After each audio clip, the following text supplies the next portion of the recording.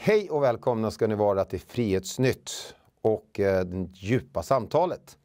Med mig i studion har jag en gäst idag, Elin Nissén. Ja, Välkommen hit. tack så jättemycket. Vi ska diskutera eh, flera olika saker, men det vi kommer prata om är narrativ. Ett annat ord kan man säga för beskrivning och berättelse. Du har nämligen skrivit en bok i det ämnet som vi ska titta på om en liten stund. Precis. Eh, Sen ska vi prata lite om maktens eh, olika berättelser eller narrativ. Och varför de skapar sådana och varför det är en så viktig del i deras maktutövning över oss. Och sen ska vi titta lite också på om vi, folket, faktiskt börjar skapa våra egna narrativ och berättelser idag i och med den stora revolutionen inom sociala medier. Men låt oss börja med att eh, ställa frågan, berätta lite kort om vem du är. Ja, jag är socialpedagog, konstnär, författare. Eh, Just nu jobbar jag som svensklärare. Eh, Framförallt är jag mamma till två barn och eh, bor nere i Lunda-trakterna där jag pluggar just nu. Och du har skrivit den här boken, ser ut så här. Den heter Narrativ, ordets makt i vardag och praktik. Just det. En bok på ja, över 200 sidor. Mm, Vi 250. kan ställa den här tror jag, så ska vi se om vi kan se den. Om jag kan få den där. Jag, jag tänkte eh, fråga dig en fråga som rör den här boken och det är Kan du kort berätta lite om vad den handlar om? Om du skulle ge en kort resumé. Vad handlar den här boken om? Eh, Jag försöker att förklara på ett akademiskt sätt vad ett narrativ är. Eh, Dess olika byggstenar, hjälten, skurken, det lyckliga slutet och så vidare. Och hur det fungerar i praktiken när vi människor berättar och när vi tar till oss eh, en berättelse. Det följer vissa psykologiska modeller. Du berättar om vad en, ett narrativ är. Och det har vi ju sagt nu att det är en berättelse. Det är en beskrivning av någonting. Och eh, du nämner också det i boken här att eh, när man tittar på en händelse, en företeelse, så kan man ha olika bilder av vad som har hänt, olika berättelser. Just och att precis. eh, makten använder det här på olika sätt för att styra oss. Och det behöver inte alltid handla om de längst uppe som styr utan det kan vara två föräldrar som har en berättelse Mm. som barnen tror på och som de sen överger. Ja, det, berätta lite kort om det, olika typer av berättelser. Ja, eh, där hamnar man ju ganska snabbt i frågan om maktperspektiv som du också var inne på.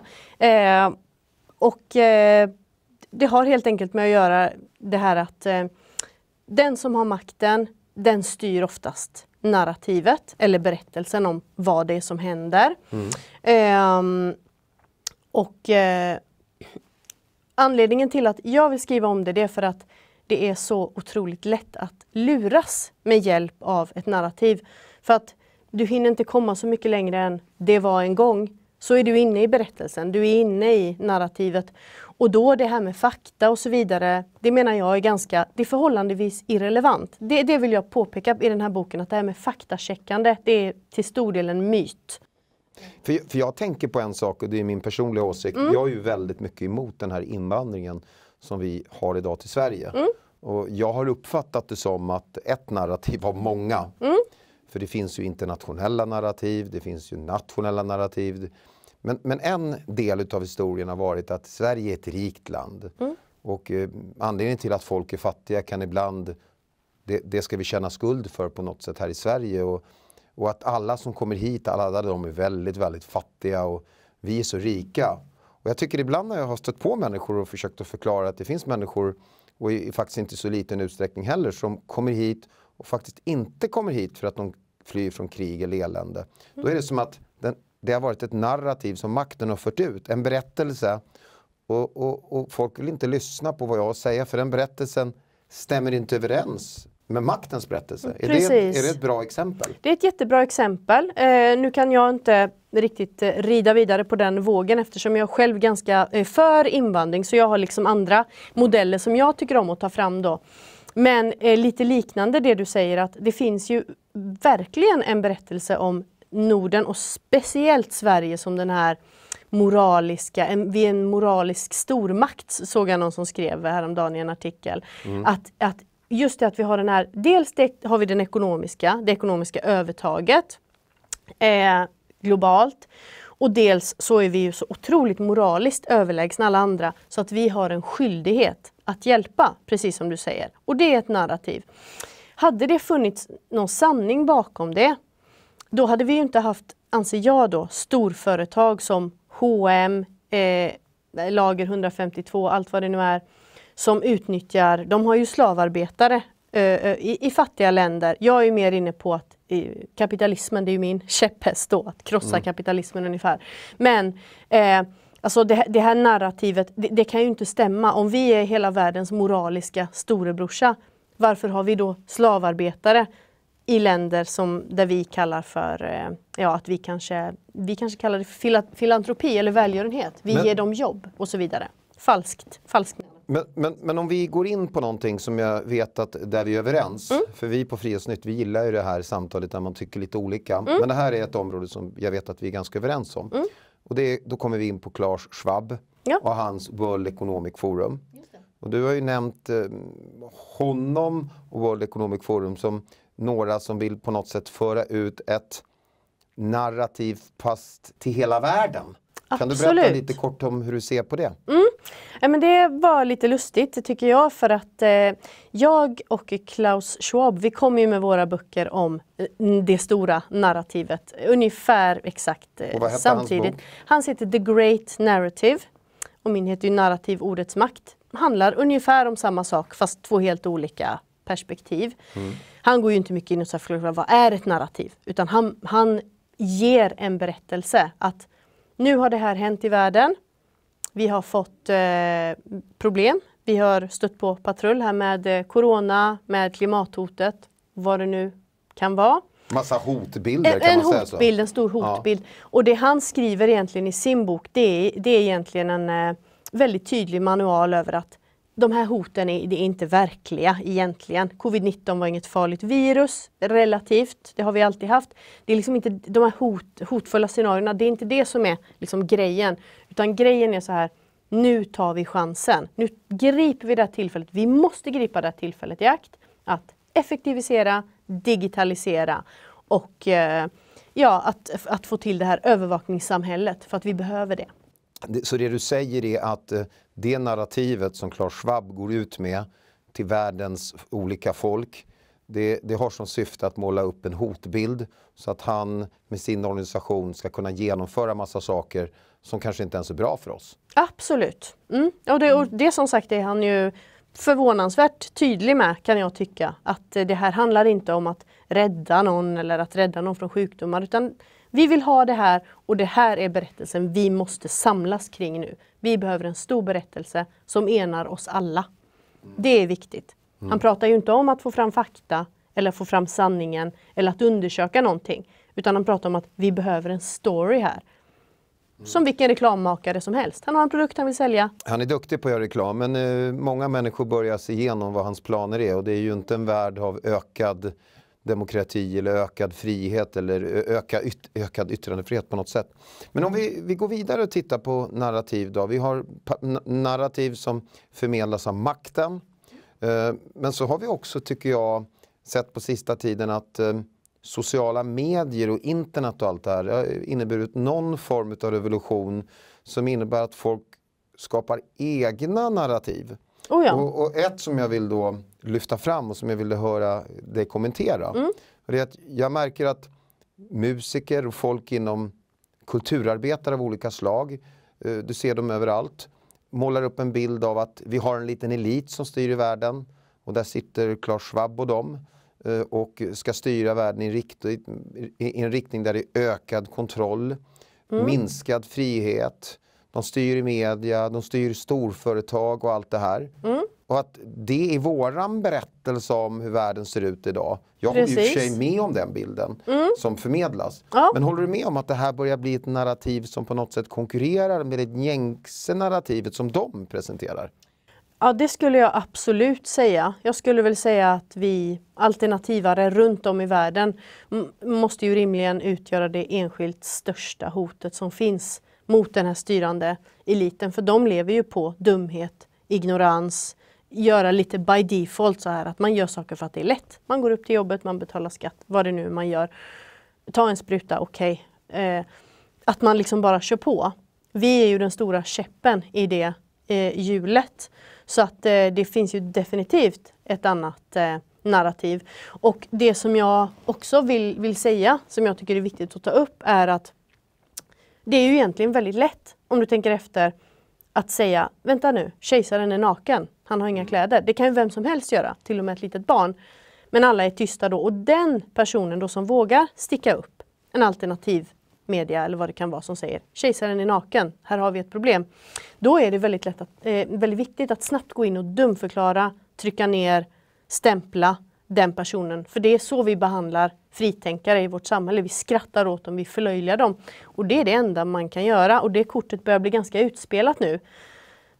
För jag tänker så här att eh, en gång i tiden så hade de som hade makten, eh, och det till ganska nyligen faktiskt, total kontroll på de plattformar som fanns som kunde förmedla narrativ, berättelser. Mm. Mm. Vi hade två kanaler, ettan och tvåan. En Just gång det. hade vi bara en kanal tror jag. Och, och, och, ja, men vi hade kontroll på alla plattformar, mm. eller de hade. Och det gjorde att det, det fanns inga alternativa berättelser. Nej. Men nu i och med internet så har det skett en revolution där. Oh ja. Och, och, och precis som du säger, det, det är man märker att massor av människor tror inte dugg på makten. Nej, De har precis. tappat förtroende för dem. De tappar förtroende och det lite dödsryckningar kvar. Men jag tror också att de som styr är väldigt krassa och ser det så här. Okej, okay, men om 10% av befolkningen ligger där som döda fiskar och bara okej, okay, vi gör allt vad vi blir tillsagda.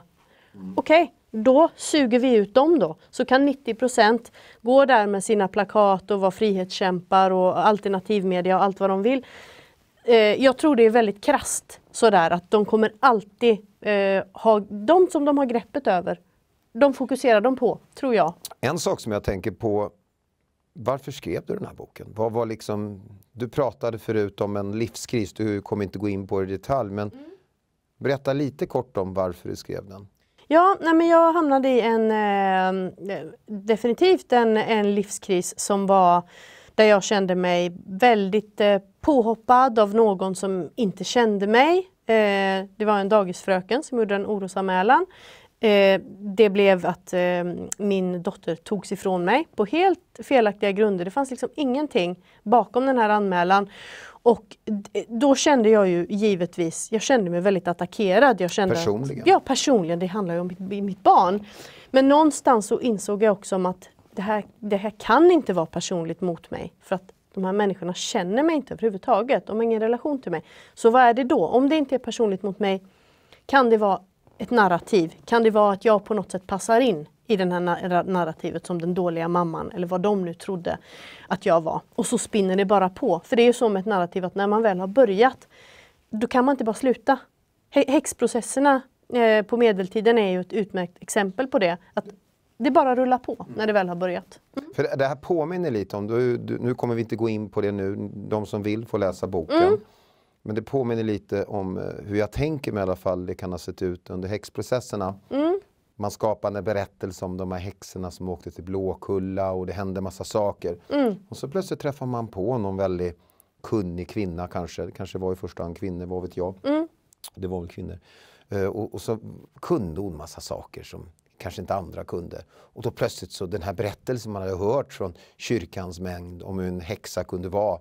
Plötsligt så blev hon väldigt fort en häxa. Mm. Och lite samma sak blev du utsatt för. Ja. Kom där till, till dagis och sen så var det en liten händelse som, som gjorde att deras berättelser om att det finns föräldrar som misshandlar sina barn och begår övergrepp och sånt. Nu redde allt det här ut sig så att du fick tillbaka din dotter och allt har varit bra sedan dess. Mm. Men på vägen dit så upptäckte du att de här berättelserna, i det här fallet ett narrativ från någon inom skolan, mm att det drabbade dig negativt? Ja, definitivt. definitivt. Och, och det blev ju mitt sätt.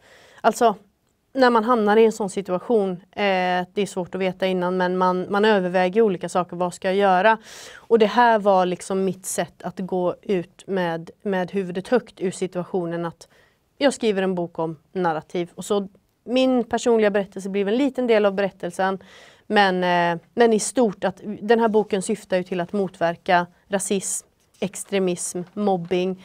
Så att alla de här, så jag menar narrativet är ju mobbarens bästa vän som jag skriver i, i boken. Att har man bara en bra story om någon, ja men Tobbe han är si, han är så. Då, då är det så lätt att mobba någon och jag vill inte att det ska vara så enkelt för någon. Vare sig det är socialtjänsten, en mobbare eller vem det nu kan vara. Jag vill att vi ska börja se igenom eh, narrativa processer. Det du menar att du målar upp en, en berättelse om en person. Mm. Och den eh, berättelsen griper tag i människor och sen behöver inte den bilden alltid vara sann.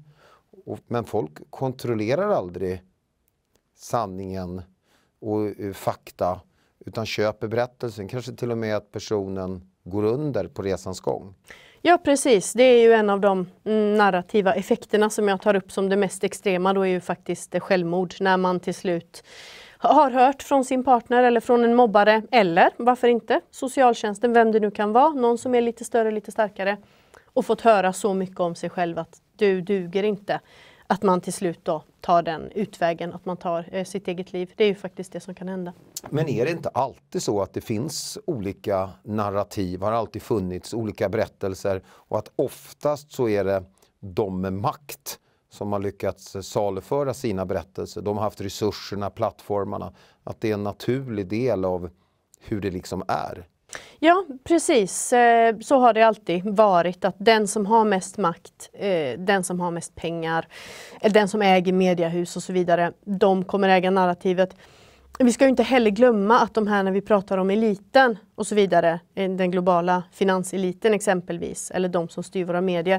Vi ska inte glömma att de har en lång tradition och en väldigt djupgående kunskap om hur man väcker känslor, styr åsikterna. Allting sker ju på något sätt via solarplexus. Det ska ju helst inte ta omvägen via de här mer problematiska organen mm. som vi har i kroppen utan det ska liksom gå direkt någonstans i mellangärdet eller ännu lägre under bältet och så känner man och så blir man kränkt och så agerar man på det. Det är det lättaste. För, för en sak som jag har tänkt på, jag har ju sett många människor genom åren som har lyft upp det här med invandringen på ett eh, väldigt neutralt och trovärdigt sätt. Mm. Men eh, de har blivit stämplade som onda människor, som mm. rasister och allt vad det nu är. Människor Precis. som jag vet inte alls är det och vissa har inte ens själva varit svenskar. Nej. Eh, bland annat träffade jag på en man som fortfarande lever idag som heter Jan Mild. Han var sosse. Mm. Och han, hade, han lyfte fram det här med allt det positiva med invandringen. Mm. Och en dag så försökte han på sig att eh, göra en liten kritisk betraktelse. Och då direkt blev han utfrusen ur sitt parti Socialdemokraterna och ganska snabbt också rasiststämplad. Precis. Och att bakom det här på något sätt så finns det narrativet att eh, är du ifrågasättande då är du en häxa. Just I det här det. fallet en rasist. Mm. Det handlar upp... inte mycket om sanning. Nej, det handlar inte alls om sanning skulle jag vilja säga. Eller rättare sagt sanning och fakta. Det är två olika saker men det, det kan vi gå in på en annan gång. Men jag tar upp ett sådant exempel här i, i boken, i, ganska, i början av boken, när Jimmy Åkesson eh, gick ut och protesterade mot att eh, det var några nämndemän på en liten ort i Sverige som har dömt efter sharia lag, eh, tittat på den här kvinnan. Hon skulle ha hon var inte trovärdig för att om hon verkligen var misshandlad då skulle hon ha gått till hans familj och berättat. Det var liksom traditionen. Och, och så dömde man efter, uppenbarligen då, eh, sharia-lag ganska tydligt. Och eh, Skånska eh, Dagbladets chefredaktör skrev och, eh, om det här ondgjorde sig över Jimmy Åkesson då att eh, hon hade hört på radion att Jimmy Åkesson satt och sa att eh, man kan inte döma efter sharia i Sverige bara för att man är, är uppväxt enligt den traditionen. Det går inte. Och då skriver den här Heidi Avellan, då, chefredaktören, att nej precis, det går ju inte. Och att Jimmy Åkesson ens påstår det, det bevisar bara ungefär hur dum i huvudet han är. Mm. För man kan ju inte göra så. Medan en annan tidning skriver på ett helt annat sätt och bara rapporterar rakt av att detta har hänt. sharia-lagstiftning eller sharia, det har dömts ut efter sharia-lag, det var inte bra ungefär och skrivit namnet på de personer som har gjort det. Mm. Så, så där tycker jag precis att Heidi Avellan hon hakar på det här att men han är ju galen, han är ju rasist. Du menar det berättelsen, narrativet bakom man lyssnar inte kanske riktigt på vad Åkesson sa. Nej. Utan istället... Eller rättare sagt, man lyssnar på det han sa. Och han säger så här, vi kan inte ha sharia i svensk domstol. Och, och hennes replik är ungefär, nej, det är klart vi inte kan. Och att du ens säger det bevisar ju bara att du är ett pucko. Eh, medans sanningen då var att det har hänt. Vi har haft sharia i svensk domstol. Ja. Eh, och då alltså, när ett samtalsämne kommer upp till debatt som är lite farligt eller det kanske finns lite heta potatisar där, då måste man snabbt dumförklara. Och då kommer det här narrativet in som ett vapen? Ja, eller stämpla till mm. exempel. Mm. Han är högerextrem, där var diskussionen slut. Eh, en fråga som jag skulle vilja avsluta med, uh, uh, är lite oförberedd, men jag tror att du kan svara på den. Mm. Varför ska man läsa den här boken? Vad, vad, vad, vad får läsaren ut av att läsa din bok? Vad är det som du vill, varför vill du att människor ska läsa den här? Om man vill öva sin förmåga till kritiskt tänkande, då tycker jag man ska läsa den här boken. Mm. Och den är verkligen till för alla. Så det kan vara i vardagliga, om man vill vinna en diskussion vid middagsbordet. Eh, eller om man vill göra större saker. Om man vill lära sig känna igen eh, vad ett narrativ är för någonting. Eller om man vill förhindra det här när man hamnar i en situation, man säger någonting och så blir man stämplad till exempel. Eh, då skulle jag rekommendera att läsa den boken. Men egentligen alla som vill eh, agera mot extremism, eh, mobbing, rasism och sånt som inte hör hemma i ett demokratiskt samhälle så tycker jag det är en bra bok för att vi har gått på en ny modern myt också nu i och med den här internetrevolutionen som du pratar om med mm. sociala mm. medier. Så har det, det, det är ju en katastrof för de som försöker indoktrinera och styra hur vi tänker. Så då kom det här faktachecka, faktagranska det, faktachecka, faktachecka. Och det är egentligen en myt. Om du läser den här boken så kommer du förstå varför faktacheckande, ja, faktacheckande är totalt värdelöst för narrativ handlar inte om fakta utan det handlar Nej. om att vi berättar olika saker på olika sätt. Mm. Otroligt spännande så att eh, till er lyssnare, läs boken Narrativ, ordets makt i vardag och praktik. Finns på Frihetsnytts hemsida. Och eh, tack till dig för tack att du eh, kunde komma hit och berätta om din bok, vad narrativ är och hur makten använder sig av det. Och eh, förhoppningsvis efter att man läst boken så då är ni mer motståndskraftiga mot World Economic Forums planer och deras strategier. Tack för mig och tack till dig. Tack. Gillar du det vi gör? Hjälp oss att granska finanseliten och hitta lösningar på Sveriges problem och alltid stå upp för yttrandefriheten. Hjälp oss genom att sprida våra artiklar på frihetsnytt.se eller swisha en gåva till numret nedan. Tack för ditt stöd!